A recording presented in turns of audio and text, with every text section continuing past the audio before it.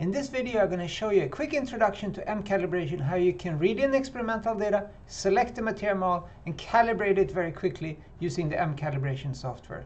So let's start. Here's some experimental data file that, files that I have.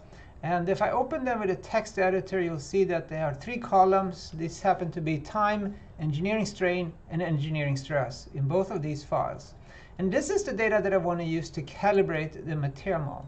So to read this data into MCalibration, you can do that in three different ways, basically. You can just select them in your uh, Explorer window, copy it to the clipboard, and then just open MCalibration, a blank new window, and then just paste it in like this. This reads in the experimental data into the software here under the experimental data tab.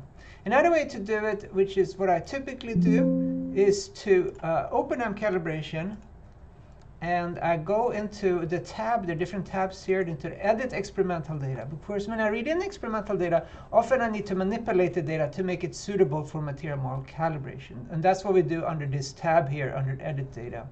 So I would read in this data by lo click load. I take one file at a time. There are three columns now here and they're plotted to the right. And we need to tell MCalibration what these columns are. So we can do column one is time, column two is engineering strain, and column three is in engineering stress.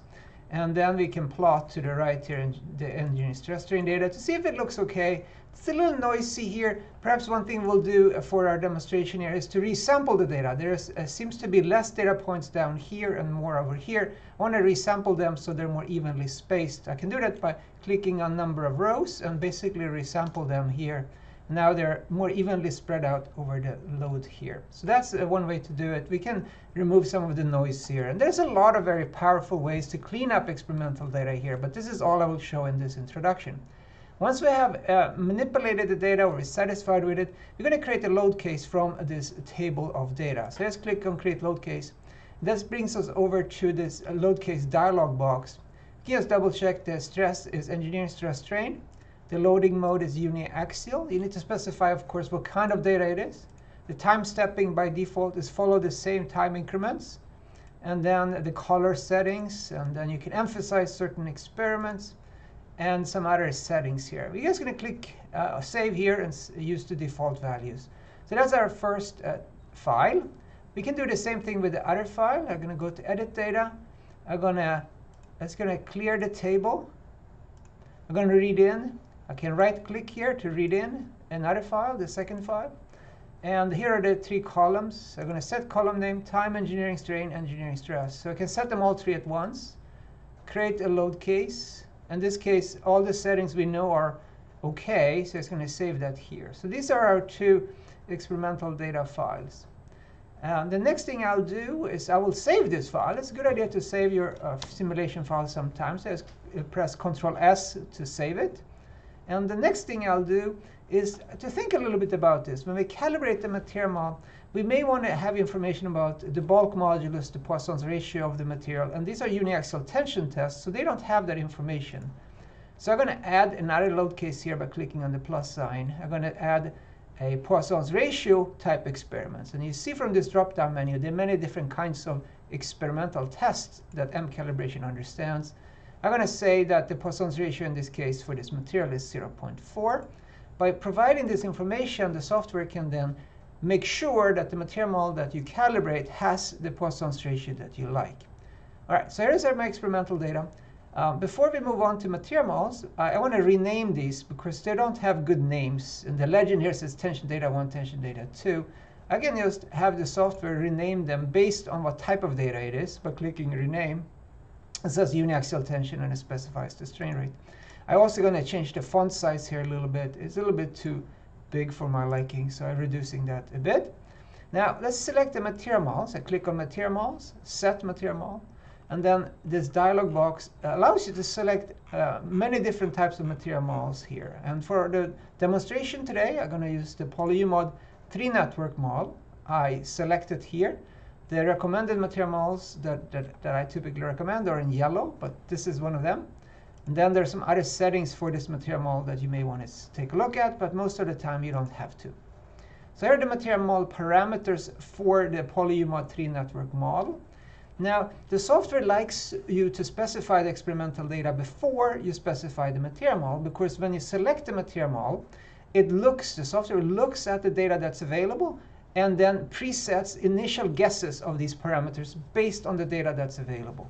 In this case, we had specified that we have information about the Poisson's ratio, for example, and the software then sets the bulk modulus kappa to be a specific value, and it also uh, uh, uh, sets it to be an optimized parameter. So any parameter here in this table, which has a checkbox here, if this is checked, it means that the software will search for that parameter. Some of these parameters are not searched for, and that is because of whatever uh, the data is available, perhaps. Perhaps it wasn't enough information there to select it, or maybe it's, um, it's not important in most cases to search for. So most of the time, you don't need to select or deselect which parameters to search for. The software will do it for you, but you can always override that if you like. The number that's next to the checkbox indicates if, uh, if two parameters are unknown but the same. So if you set two parameters with the same number next to the checkbox, that means that they are unknown but they have to have the same number. So you can tie two parameters to be the same in that way. You can also see that each parameter has a default value and then lower and upper bounds. You can check change these values if you like. Most of the time you don't have to. These are uh, thought out in, in ahead of time, so you don't need to worry about it most of the times, but that's something you can change if you like. So this is our material model.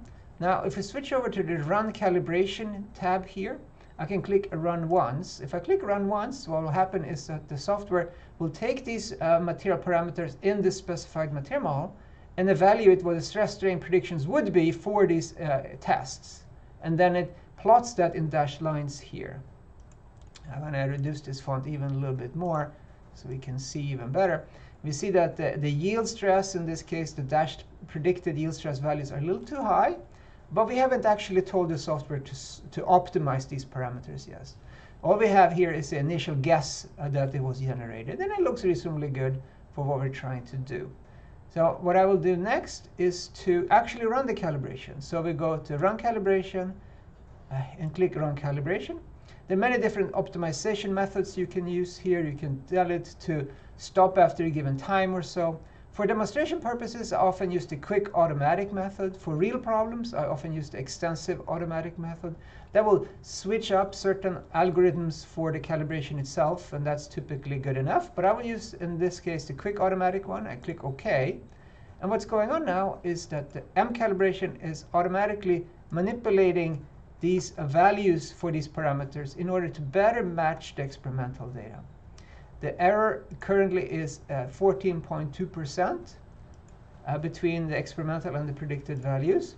And that's also plotted down at this graph here. This is initially the error was about 25%, and uh, now it's uh, slightly less than 10%. And uh, it has uh, tried to evaluate this or perform this calibration now for about 30 seconds. And it has used about 170 guesses of parameters as it's working through this. And see that it's starting to look pretty good.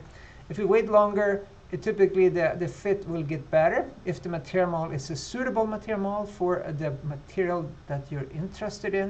In this case, the three network model is a, is a good viscoplastic material. It's a nonlinear viscoplastic material and tends to be pretty accurate for these types of uh, materials. This is a stiff rubber material. And so here, here is the predictions. We can let it run a little longer, but just for saving time here, I'm going to stop this. The error is down to about 4%. And now, when you work with material it's often very useful to, to learn a little bit more about these parameters and what they do and things like that. There are many features of MCalibration that allow you to, to understand this better. One of them is a parametric study, so that's something you could do at this point. I'm not going to do it in this demonstration.